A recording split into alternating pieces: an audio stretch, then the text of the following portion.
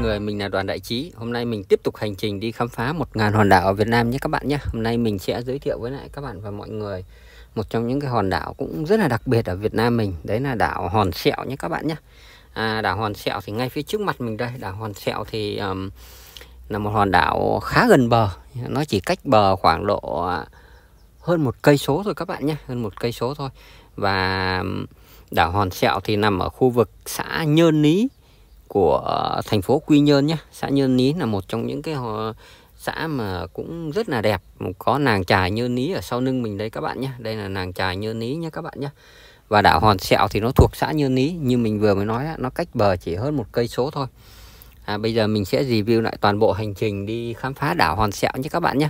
Nếu các bạn có theo dõi hành trình khám phá 1.000 hòn đảo ở, ở Việt Nam của mình thì mong mọi người like, chia sẻ và ủng hộ mình để mình có thêm động lực khám phá những cái hòn đảo mới lạ đặc biệt của Việt Nam mình nhé các bạn nhé. Ừ, đây hôm nay thì mình đang đi qua khu vực à, à, đầm thị nại để sang à, đảo à, Hòn Sẹo nhé các bạn nhé. À, từ thành phố từ trung tâm thành phố Quy Nhơn của tỉnh Bình Định á, mình đi sang à, khu vực xã Nhơn Lý thì khoảng độ hai chục cây số nhé các bạn nhé. Ừ. Đường hiện nay thì xây rất là đẹp. Đây là một trong những cái cầu mà bắc qua bán đảo này.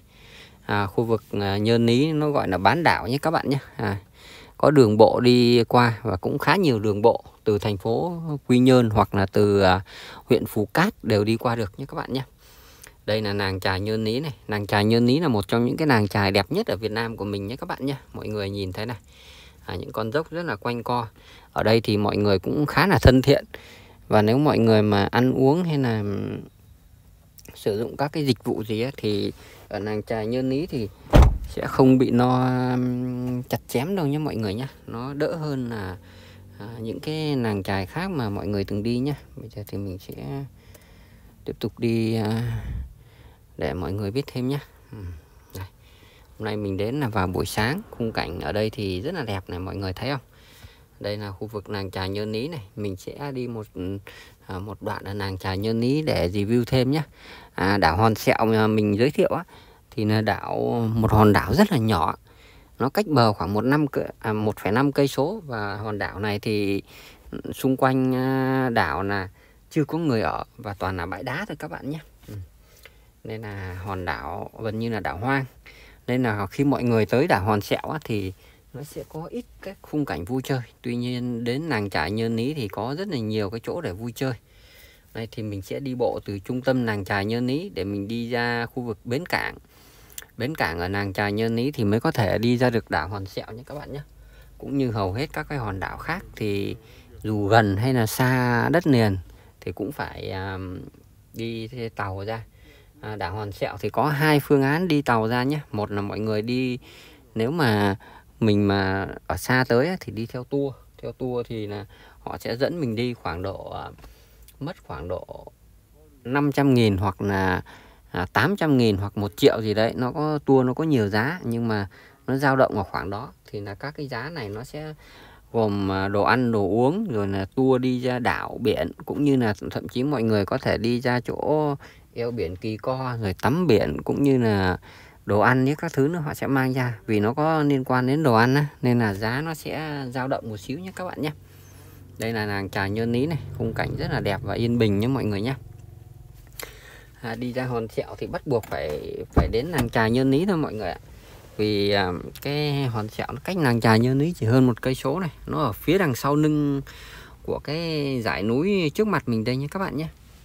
Hòn sẹo à mình sẽ đi ra đến à, đến ờ, cái bến tàu và mình sẽ thuê tàu để đi lên ờ, à, ra hòn sẹo nhé các bạn nhé. Ừ.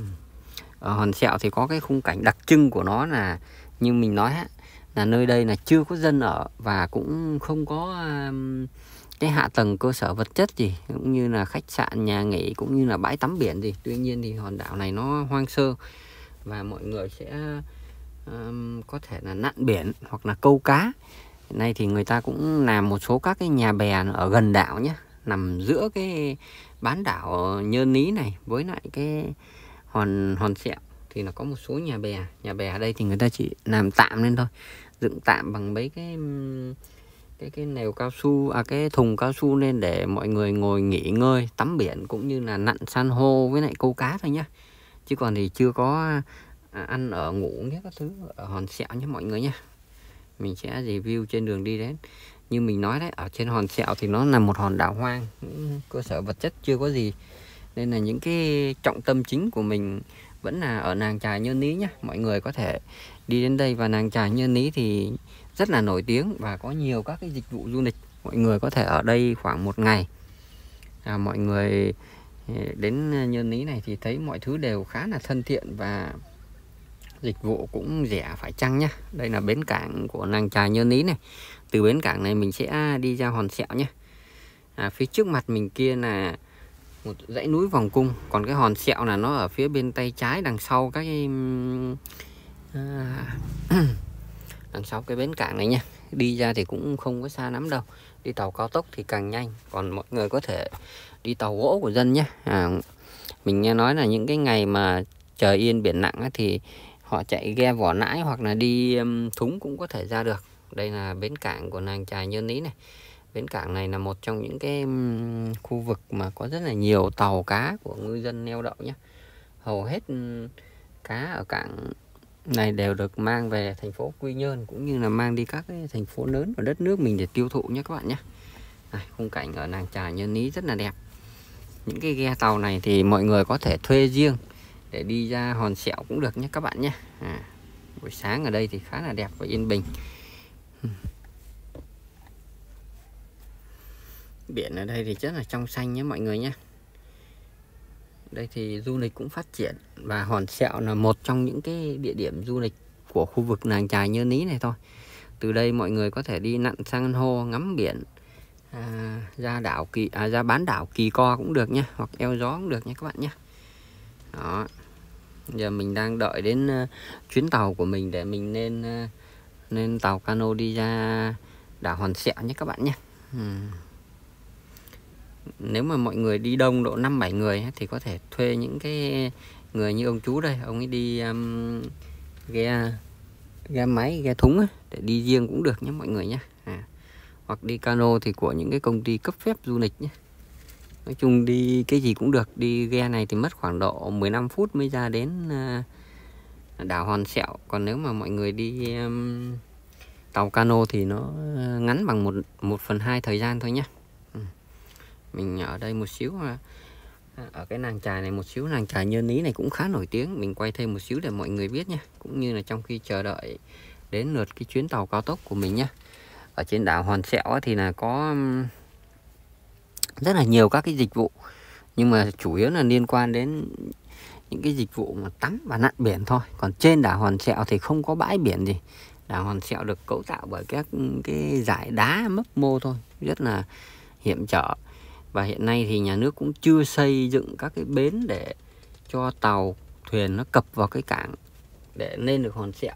Tất cả những cái mà du khách mà lên đảo hòn sẹo thì gần như kiểu là dạng khám phá đó mọi người tức là mình à, ghe tàu nó chạy gần gần sát đó và mình phải nhảy xuống nước mình bơi vào đảo hòn sẹo thôi nhé các bạn nhé chứ chưa có cảng cũng như là chưa có bất kỳ cơ sở hạ tầng nào ở đảo hòn sẹo nhé hòn sẹo thì nó chỉ là một cái tảng đá nhô lên khỏi một cái quả núi nhô lên khỏi biển thôi. Nó rộng khoảng độ một cây số cây số vuông đi xung quanh đảo chắc khoảng độ một cây số này ở Quy Nhơn này người ta làm du lịch nên là các cái ghe tàu cá người ta cũng sơn rất là nhiều màu, nhìn khá là đẹp và bắt mắt nhé các bạn nhé. Đó, đây là những cái cầu cảng. Ở thành Nhơn Lý này thì người ta xây cầu cảng rất là vững chãi. Vì chỗ này là cảng cá của ngư dân ấy ngoài cảng cá thì có cả cảng tàu du lịch nữa. Đó, phía đảo hòn sẹo là phía bên tay trái mình nha mình sẽ đi vòng qua cái bán đảo này để sang đảo hòn sẹo các bạn nhé. Ở đây thì mọi người nhìn ra biển rất là xa. Nhưng mà vì là cái chỗ này nó bị khuất mất cái cảng này nên là không nhìn thấy hòn sẹo. Dù là nó chỉ cách bờ có hơn một cây số đây thì có rất là nhiều các cái thúng này, mọi người thấy không? Thúng của ngư dân ở nàng trài nhơn lý này. Thúng này là dùng để đi từ từ bờ này ra mấy cái tàu đang neo đậu ngoài kia thôi các bạn nhé. Chứ thúng này không đi biển được.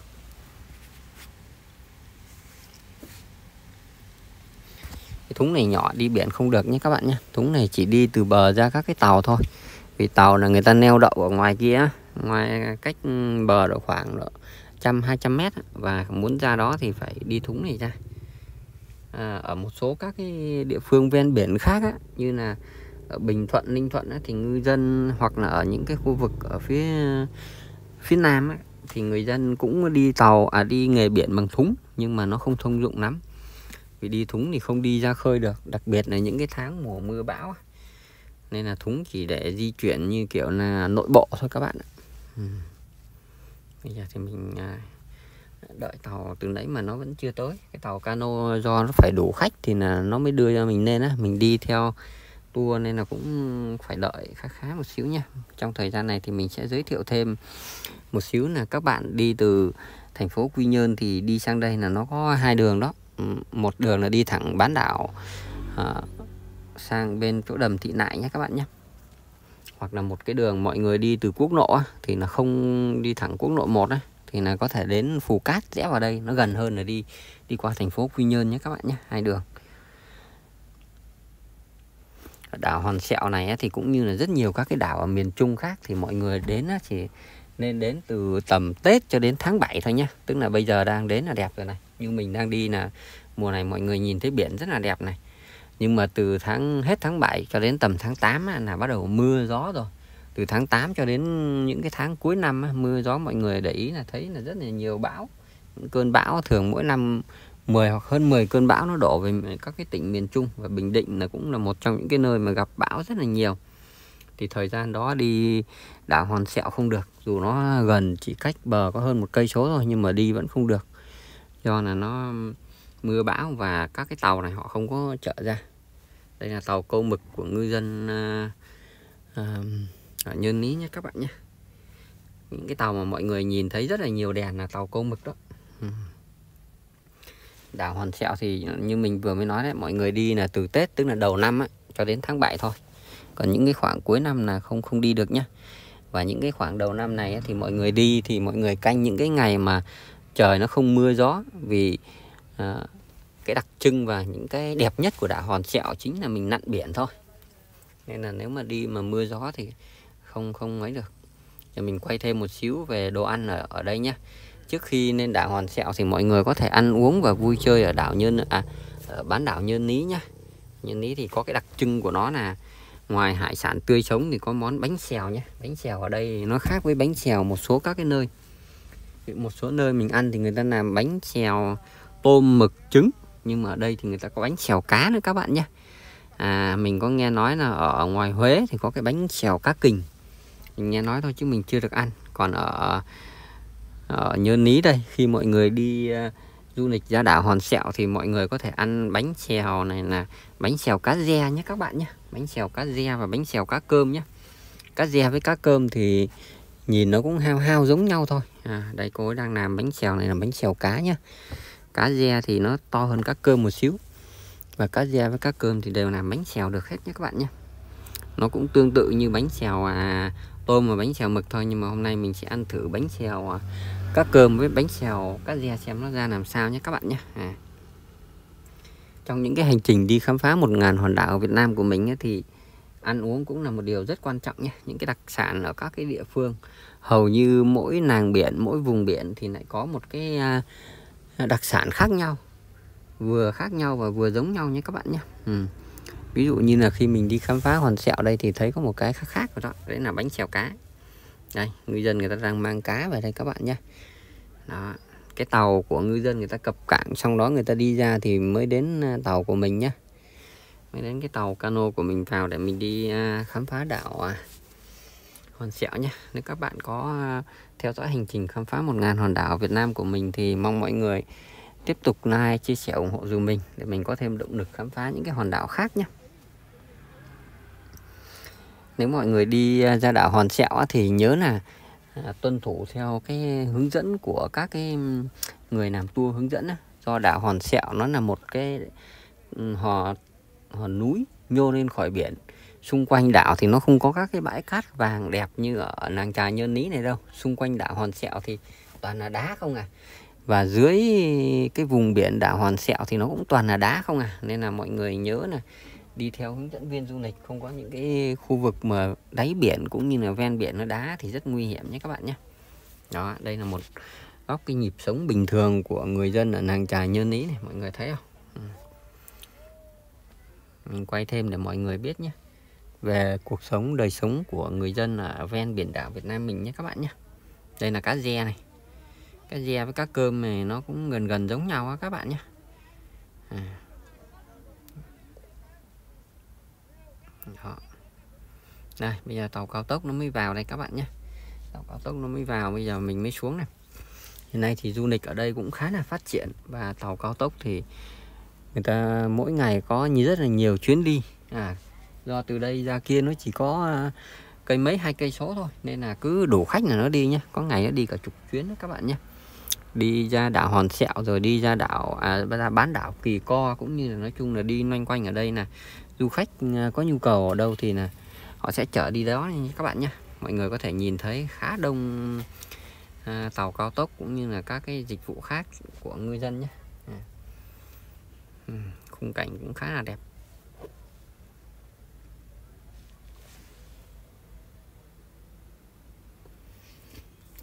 Ở đây mà ai mà thích câu cá cũng như là nặn biển á, thì là đi ra đảo Hòn Sẹo là rất là phù hợp.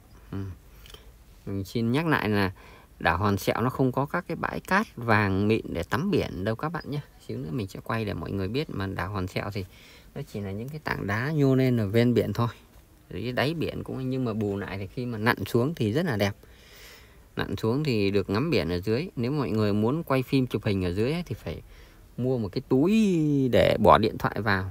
Hoặc nếu mà à, chuyên nghiệp hơn một xíu nữa thì là mọi người có thể mua thêm um, những cái GoPro quay dưới nước ừ. đây đây là cái à, tàu cao tốc chuẩn bị mình xuống đây các bạn nhé. À, mùa này thì biển nó không có động lắm nhưng mà những cái tàu cao tốc này nó khá là nhẹ nên là mọi người có thể nhìn thấy nó rung rinh rất là lớn. Và khi bước lên cũng như là bước xuống từ trên cảng xuống tàu cao tốc á, là một trong những cái kỹ thuật mà phải rất là ừ, cẩn thận. À. hiện nay thì một số trên các cái trang mạng á, người ta giới thiệu là đảo hòn sẹo có thể cắm trại qua đêm được. Nhưng mà cái này thì nói chung là dịch vụ này thì chưa có ừ, phổ biến đâu.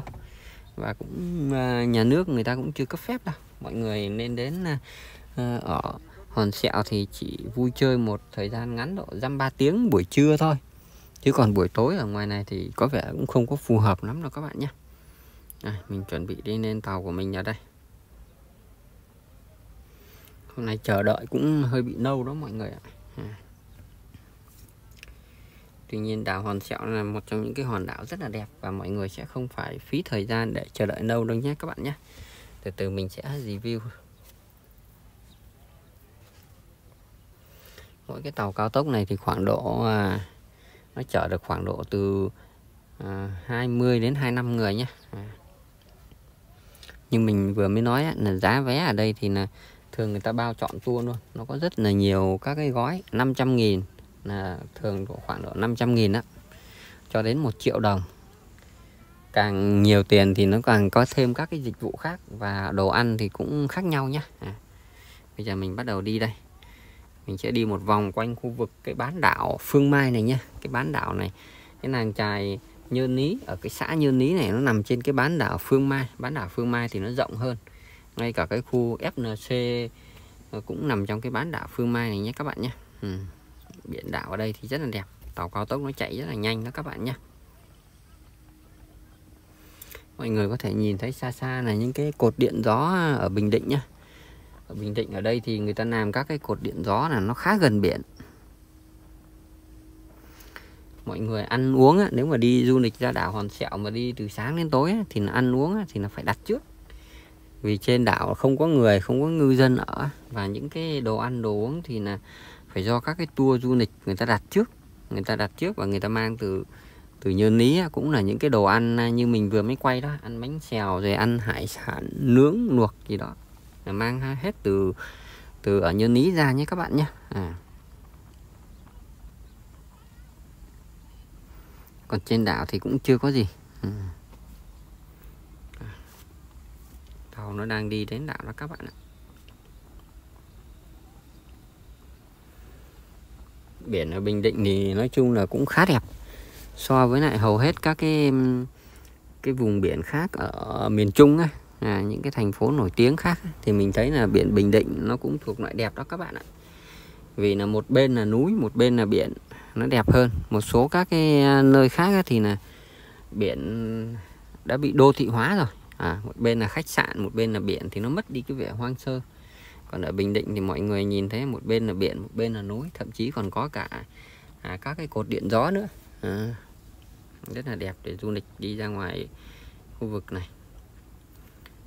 Đó, phía trước mặt mình là cái đảo Hòn Sẹo các bạn nhé.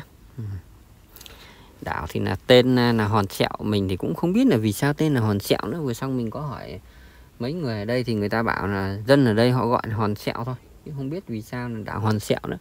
Chắc có lẽ là nó nhìn nó sần sùi á. Vì như mình vừa mới nói đảo này nó không có các bãi cát mịn màng đâu. Đảo này nó được cấu thành bởi những cái tảng đá núi thôi. Nên nó sần sùi nó nhiều sẹo thì chắc người ta gọi là hòn sẹo quá không biết là mọi người xem à, video clip này có ai là người dân ở, ở Nhơn Lý cũng như là ở Quy Nhơn biết vì sao là người ta gọi hòn sẹo không? Thì có thể um, giải thích dù mình một tí. Mình vừa mới hỏi rồi nhưng mà không ai biết vì sao là người ta đặt là đảo hòn sẹo hết nhé các bạn nhé ừ. à, có lẽ là nó sần sùi nên gọi hòn sẹo thôi. Ở cái khu vực hòn sẹo này nói chung cũng như là à nói riêng cũng như là khu vực bán đảo Phương Mai á như là nàng trài nhơn ní rồi kỳ co hay là hòn khô là rất là phù hợp cho cái việc nặn biển nha vì là một bên là biển, một bên là núi đá, nên là dưới đáy biển cũng rất là đẹp. Mùa rong biển rồi các thứ là đều đều đều rất là đẹp. Xíu nữa mình sẽ đến hòn sẹo, mình sẽ quay để mọi người biết thêm nhé à. nay tàu nó sẽ đi một vòng qua bên kỳ co, xong rồi nó vòng về hòn sẹo. Này mình sẽ quay thêm để mọi người biết thêm về cái hành trình khám phá hòn sẹo của mình nhé. À, do mình đi du lịch á. À, mình đi khám phá đảo mình không có đi theo những cái tour riêng mình không thuê thuê tàu riêng được á. Mà mình đi theo những cái tour để du lịch cho nên là cái hải trình của mình nó không được không được uh, theo cái ý muốn của mình một xíu nha các bạn nhé. À, nên là mọi người chịu khó giúp mình một xíu. Đảo hòn sẹo nó ngay phía trước mặt rồi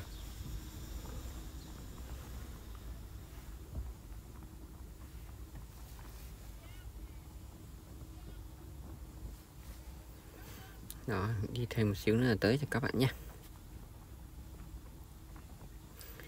Đây thì sẽ nặn biển xíu nữa mình sẽ tìm cách mình nặn biển để mình quay nhé.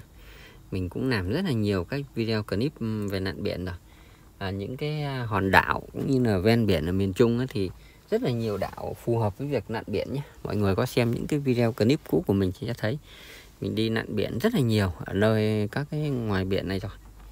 Và hầu hết thì ở ven biển đã đẹp rồi nhưng mà nặn xuống dưới biển thì nó còn đẹp hơn rất là nhiều các bạn nhé. Đó mọi người có thể nhìn thấy đảo hòn sẹo nó gồm là các cái bãi đá nổi nõm không à?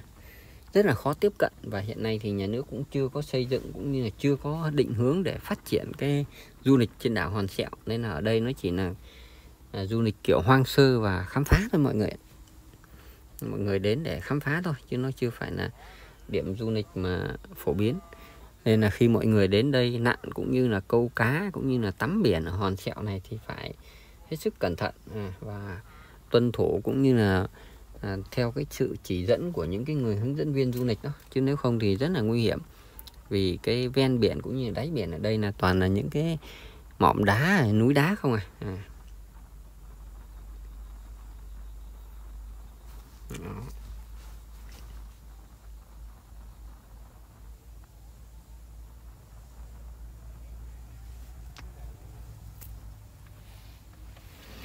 Đảo Hòn Sẹo thì nó tuy là gần bờ nhưng mà cái quá trình khám phá của nó cũng không có đơn giản đâu các bạn ạ ừ. đó, tàu nó sẽ bỏ khách ở chỗ khu vực Kỳ Co này sau đó nó sẽ chở mình vòng sang bên Hòn Sẹo nhé các bạn nhé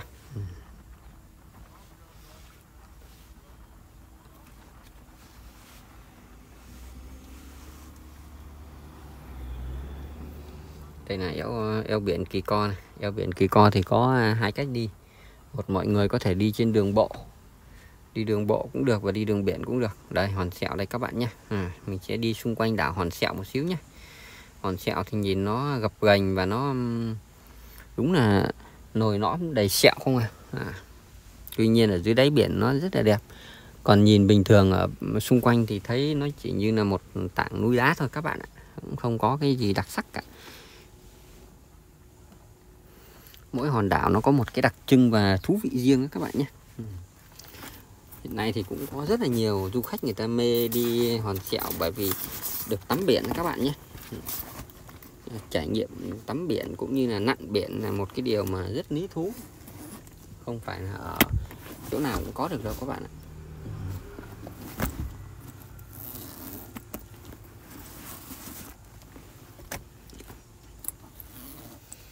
Các bạn có theo dõi hành trình khám phá một ngàn hòn đảo Việt Nam thì mọi người mong mọi người tiếp tục like chia sẻ ủng hộ dùm mình nhé. Thời gian tới mình sẽ đi khám phá thêm nhiều những cái hòn đảo đặc biệt khác của đất nước. À, chứ không phải chỉ những cái hòn đảo du lịch đâu. Những hòn đảo du lịch à, thì nhiều người có thể tới được mọi người. À, mình như mình nói mình có thể đặt tour bỏ tiền nên là tới được. Nhưng có một số những cái hòn đảo rất là đặc biệt. Thậm chí là một số hòn đảo là nhà nước chỉ để sử dụng cho mục đích quân sự thôi bảo vệ an ninh à, quốc phòng đất nước thôi. Nên là không có à, không có cho người dân đến. Nhưng mà cũng may mắn là cho cái nghề nghiệp của mình ấy, nên là mình cũng quay được. Và mình sẽ quay những cái gì mà được cho phép thôi để giới thiệu đến mọi người thôi nhé các bạn nhé. Ừ. đó hòn sẹo ngay trước mặt mình đó. Đây thì khá nhiều cao tốc nó đi đi tàu cao tốc nó đi đi lại lại nha các bạn nhé. Ừ.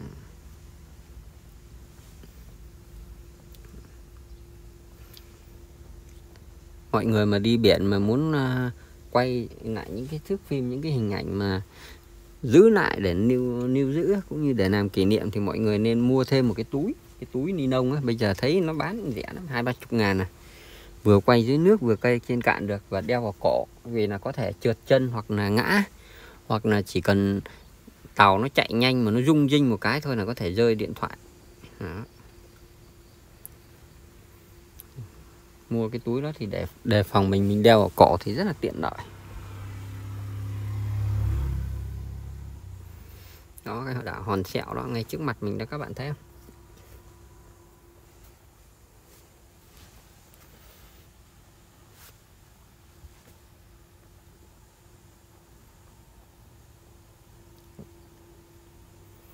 Thì đây là một hòn đảo hoang nhé các bạn nhé, không có người cũng không có dân ở nhé cũng không có cơ sở hạ tầng gì của nhà nước cả. Ừ. Do nó nằm khá gần bờ, cách bờ khoảng hơn một cây số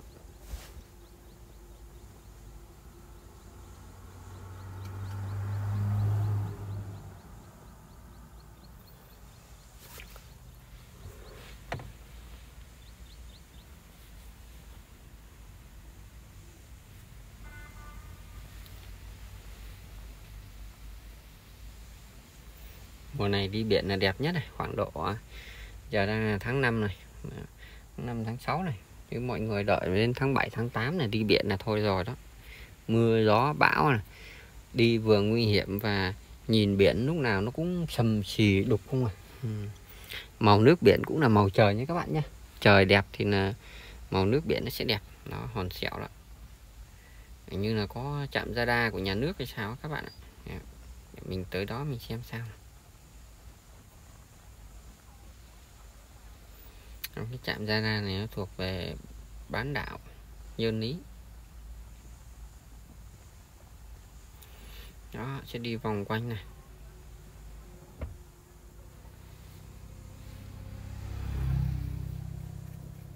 Đó, hòn sẹo trước mặt mình đây này. Cái chạm radar kia là nó thuộc về bán đảo rồi nhé các bạn nhé đó, hòn sẹo trước mặt mình đó, mọi người thấy không? Nó chỉ là một dãy núi nhấp nhô như vậy thôi. Và hiện nay thì tất cả các loại tàu bè chưa có cập cảng được vào đảo Hòn Sẹo nhé đó mọi người thấy không? À, tàu họ chỉ neo đậu gần gần nữa thôi. Đó nhìn nó nổi nõm đúng là toàn sẹo ngay à? nó chỉ là các cái giải đá thôi.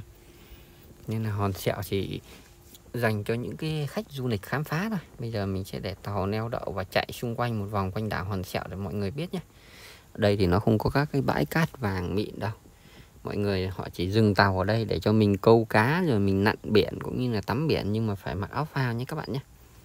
Đó, hòn sẹo nó chỉ là như vậy thôi.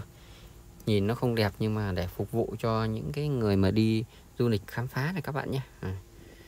Đó, đây là hòn sẹo đó, các bạn thấy không?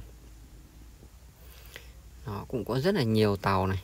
Có có một số các cái nhà nổi tiền chế để phục vụ khách ngồi nghỉ ngơi thôi, chứ cũng chưa có gì cả đó, cũng có nhiều tàu đưa khách ra đó mọi người thấy không? Đảo hòn sẹo thì chỉ vậy thôi chưa có cái bãi tắm nào đẹp cả. Đây thì cũng không có những cái bãi biển thơ mộng đâu. Nhưng mà mình quay thêm clip để mọi người biết thêm về đảo hòn sẹo nhé các bạn nhé. Nếu các bạn có theo dõi thì mong mọi người like chia sẻ dùm mình nhé. Đây thì cũng có nhiều các cái dịch vụ ven biển này để họ dành cho đảo hòn sẹo nhé các bạn nhé. Mình xin chuẩn bị dừng video clip ở đây nhé các bạn nhé. Xin chào và hẹn gặp mọi người ở những cái video clip tiếp theo ha.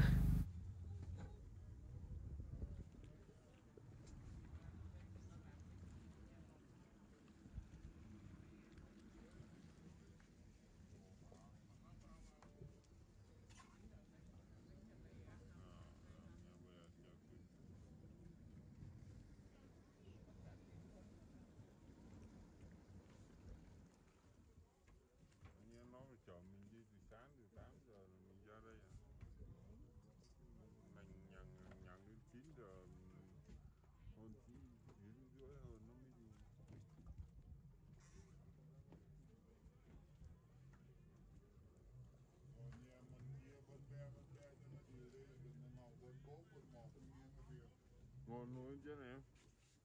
Bonândia, né? Estamos tudo. Né? Ah.